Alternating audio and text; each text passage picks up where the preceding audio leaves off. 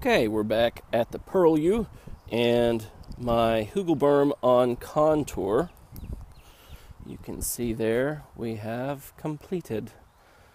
Uh, finished filling it in with dirt and then I got some soil conditioner and compost and top dress the very part uh, top part of the mound. That's why it looks so rich and black. Also installed my trail alongside with some mulch and some straw that I had. And I place some bare root shrubs. We have here an amber autumn olive. In the middle here, a goji, a wolfberry. And on the end, we have a scarlet goumi right there. These all three of these are new to me. I have no idea what they're going to what their uh, growth cycle is going to be like, how long it's going to be until we have some fruit off of them. But the main reason they are on the mound is they are all three nitrogen fixers. So that will give me three perennial nitrogen fixers on the mound itself, and under and around these, I'll plant some of my fun annual things like peppers and tomatoes. So, also downslope of the berm, I put in some more plants. This here is an autumn olive. Again, another nitrogen fixer.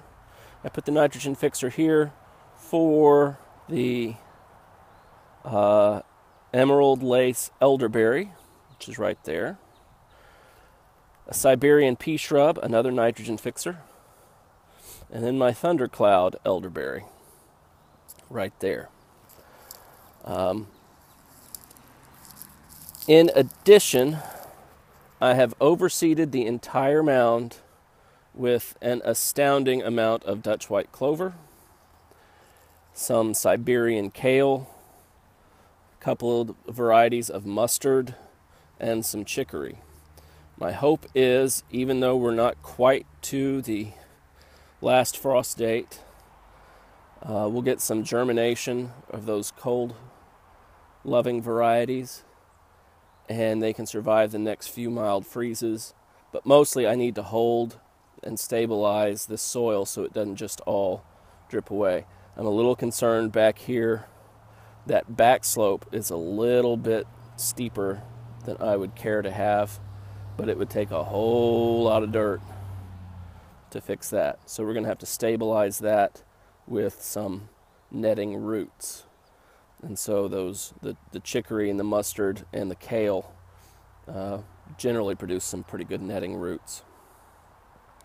And down here where I've got my other perennials go- going in, I'm going to get a wildflower mix, some uh, lupine, blue sage, lots of flowering beneficials to attract the uh, pollinators and to provide homes for the predatory insects that will control, hopefully, the pest insects. All right, so on Tuesday, this was just like this. Dug my trench on Tuesday, finished it on Wednesday, filled it with wood, covered it and dressed it on Thursday, top seeded it Friday morning. And so that's uh, four days to this installation. I'm hoping to get the one downslope done soon. And I'm kind of stuck up here until I can get down some of these trees. That tree in particular. I would really like to bring it down, and there's some more trees back here that need to go because they're in the power line. So, what I'd like to do is kind of set up a hedge of berry and nitrogen fixers underneath the power line until it exits.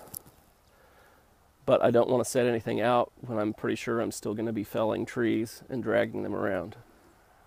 So I'm kind of stuck for a while. Hopefully, we can get some I need some assistance to help get that tree out and that tree out. And then after that, I'm just going to have to call someone to get the ones that are up into the lines. So, completed project. I'll be back throughout the spring and summer and fall because I really want you to see from start to finish, barren to verdant, homogeneous to diverse, uh, what can be done. All right. Back soon.